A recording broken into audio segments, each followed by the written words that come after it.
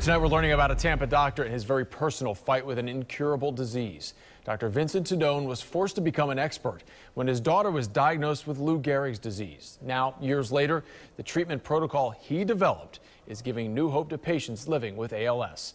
Our Gina Patishi taking action for your health, looking at how the treatment works. Gina?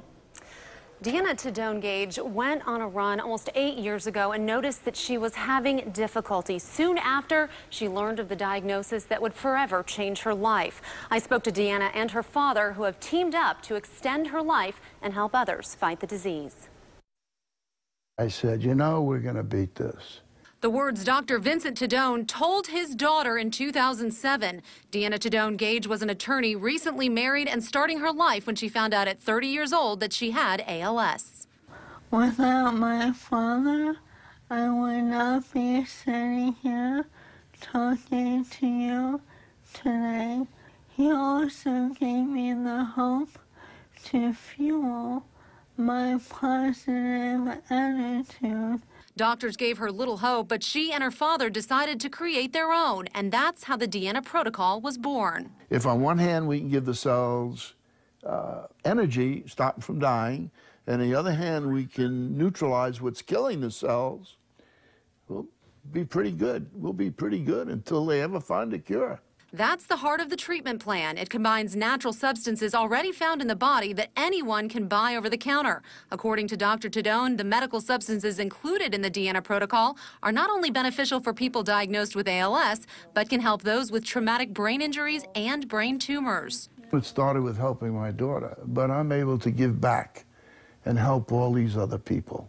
Deanna says although her diagnosis was scary in the beginning, she and her father want to help others win the fight. I'm here to tell you that there is hope. Tedone says that there are currently over 2,000 people around the world that have reached out to them about the Deanna protocol. If you would like more information, uh, you can about the free program, or if you're interested in helping the fight against ALS, you can head over to our website, which is abcactionnews.com, and click on the story links section. Live in the studio, Gina Patishi, ABC Action News.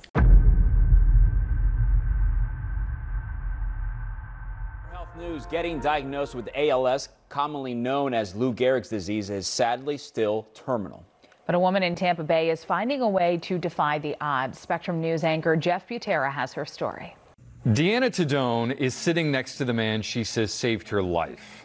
A man who also happens to be her dad. Which one do we want to win? Deanna does not mince words. Without him, I want be dead. I won't mince words either. About 15 years ago, doctors told Deanna to go home and prepare to die.